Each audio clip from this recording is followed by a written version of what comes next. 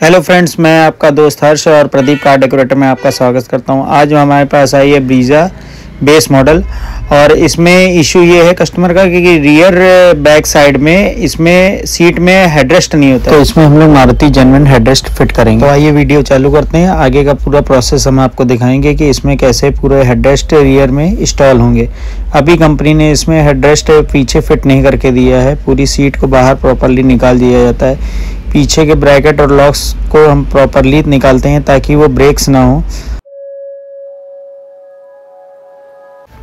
अब इसमें से हम अपनी फॉर्म उतार चुके हैं और इसमें ये पीछे की सीट की तरफ़ लॉक्स लगाए जाते हैं ताकि उसमें वेल्डिंग की जा सके। उसको वेल्डिंग करके प्रॉपरली इस वर्क को आगे बढ़ाया जाता है ताकि इसमें वेल्ड होके ऊपर से पूरा फिटिंग प्रॉपरली मज़बूत हो सके।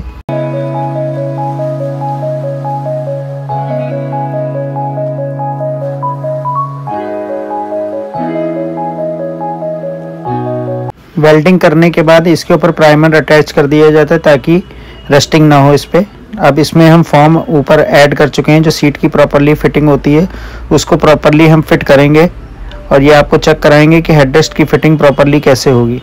ये लॉक्ड होते हैं, जो कंपनी के लॉक्ड उसमें लग के आते हैं, उसको हमने प्रॉपरली इसमें फिट कर दिया है। अब इसमें हेडरेस्ट को फिट करेंगे और चेक कराएँगे आपको।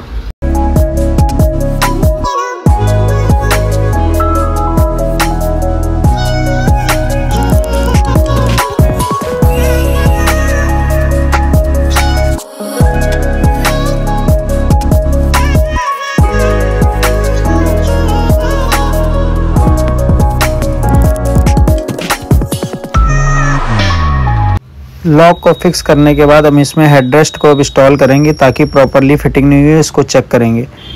ये इसमें हमने हेडरेस्ट को लगाया है और प्रॉपरली हम अब इसमें चेक करेंगे कि इसको हेडरेस्ट को प्रॉपरली फिटिंग मिली है कि नहीं मिली। पूरी टाइट फिटिंग होती है जैसे कंपनी की ओरिजिनल फिटमेंट होती है। अब इसको हम निकालने के बाद इसका प्रॉपरली हम सीट कवर इसी के साथ ऊपर ऐड करके ऊपर से हेडरेस्ट फिक्स कर देंगे इसमें।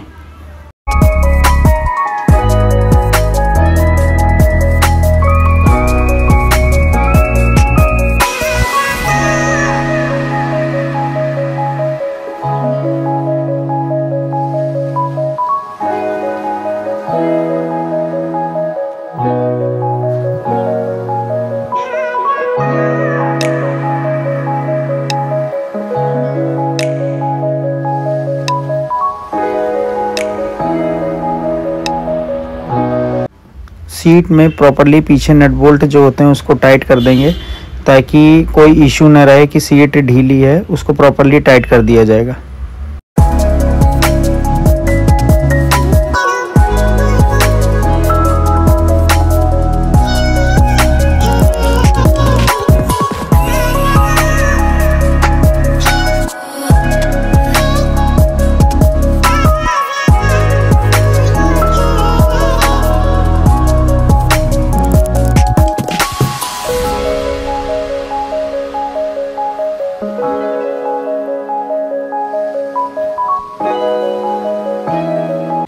तो ये हमने मारुति के gen one headrest Brezza base model में फ़िट किए हैं।